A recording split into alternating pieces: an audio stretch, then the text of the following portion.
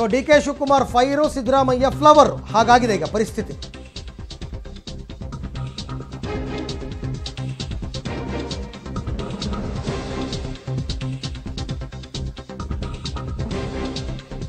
ನೋಡಿ, ಒಂದು ಗಮನಿಸಿ, ಸಿದ್ದರಾ, ಡಿ ಕೆ ಶಿವಕುಮಾರ್ ಅವರು ಫೈರ್ ಬ್ರ್ಯಾಂಡ್ ಥರ ಮಾತಾಡ್ತಾ ಇದ್ದಾರೆ.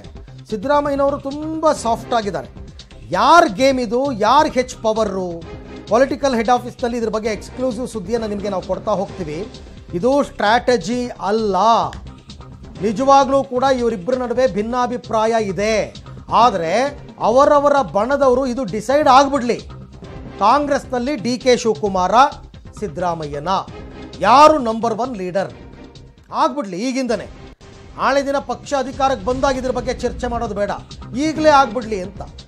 ಸಿದ್ದು ಬಣದ ವಿರುದ್ಧ ಗುಡುಗಿದ್ರು ಸಿ ಅಧ್ಯಕ್ಷ ಡಿ ಕೆ ಶಿವಕುಮಾರ್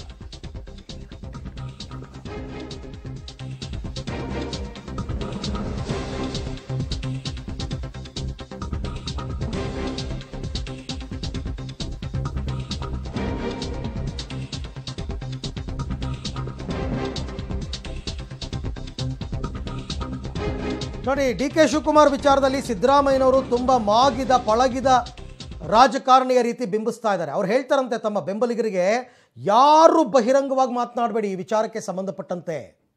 ಇದೊಂದು ಭಾರತ ಜೋಡೋ ಕಾರ್ಯಕ್ರಮ ಮುಗಿದು ಬಿಡಲಿ ನಾನು ಹೈಕಮಾಂಡ್ ಜೊತೆ ಮಾತನಾಡ್ತೀನಿ ಟಿಕೆಟ್ ಕೊಡೋ ವಿಚಾರದಲ್ಲಿ. ಹಾಗಾಗಿ ನಮ್ಮಲ್ಲಿ ಭಿನ್ನಾಭಿಪ್ರಾಯ ಇದೆ ಅಂತಕ್ಕಂಥದ್ದು ಹೊರಗಡೆ ಗೊತ್ತಾಗೋದು ಬೇಡ. ಆಮೇಲೆ ಬಿ ಜೆ ಪಿಗೆ ಜೆ ಡಿ ಎಸ್ಗೆ ಆಹಾರವಾಗೋದು ಬೇಡ. ಸಿದ್ದರಾಮಯ್ಯನವ್ರು ಹೇಳ್ತಾ ಇರ್ತಕ್ಕಂಥದ್ದು. ಓಕೆ, ಈ ವಿಚಾರಕ್ಕೆ ಸಂಬಂಧಪಟ್ಟಂತೆ ಕೂಡ ನಾನು ಮತ್ತಷ್ಟು ಮಾಹಿತಿ ನನ್ನ ಕೊಲೀಗ್ ರವೀಶ್ ಅವರಿಂದ ಪಡ್ಕೋತೀನಿ. ರವೀಶ್ ಕೆಲವು ಸಂದರ್ಭದಲ್ಲಿ ಅನಿಸುತ್ತೆ, D K Shivakumar, Siddaramaiah and team ಬಗ್ಗೆ ನೇರವಾಗಿ ಮಾತಾಡಿ ತಮ್ಮ ಸೇಡು ತೀರಿಸ್ಕೊತಾ ಇದ್ದಾರೆ. ಆದರೆ ಸಿದ್ದರಾಮಯ್ಯನವರು ಪ್ಯಾಚಪ್ ಕೆಲಸವನ್ನು ಮಾಡ್ತಾ ಇದ್ದಾರೆ ಅಂತ ಅನ್ಸಲ್ವಾ? ಅರವಿಂದ್, ರಾಜಕಾರಣದಲ್ಲಿ ಎಲ್ಲ ಒಂದು ಕಡೆ ಬಹಿರಂಗವಾಗಿ ಸ್ಫೋಟ ಆಗೋದಕ್ಕಿಂತ ಒಳಾಂಗಣ ರಾಜಕಾರಣ ಇರುತ್ತಲ್ಲ, ಅದೇ ಎಲ್ಲ ಒಂದು ಕಡೆ ಕೆಲವು ಸಂದರ್ಭಗಳಲ್ಲಿ ವರ್ಕೌಟ್ ಆಗುತ್ತೆ. ಯಾಕೆಂದರೆ ಸಿದ್ದರಾಮಯ್ಯ ಒಂದು ರೀತಿಯಲ್ಲಿ ಪಳಗಿದ ನಾಯಕ. ಈ ಕಾರಣಕ್ಕೋಸ್ಕರವಾಗಿ ಎಲ್ಲ ಒಂದು ಕಡೆ ಡಿ ಕೆ ಶಿವಕುಮಾರ್ ಒಂದು ಕಡೆ ಶಾಸಕರನ್ನ ತಿವಿತಾ ಇದ್ದರೆ ಮತ್ತೊಂದು ಕಡೆ ಸಿದ್ದರಾಮಯ್ಯ ಅವರು ಅವ್ರನ್ನ ಸಮಾಧಾನ ಪಡಿಸುವಂಥ ಕೆಲಸವನ್ನು ಮಾಡ್ತಾ ಇದ್ದಾರೆ. ಯಾಕೆಂದರೆ ಭಾರತ್ ಜೋಡೋ ಕಾರ್ಯಕ್ರಮದ ಬಳಿಕ ಈ ಬಗ್ಗೆ ಪಕ್ಷದ ವೇದಿಕೆಯಲ್ಲಿ ಮಾತನಾಡೋಣ.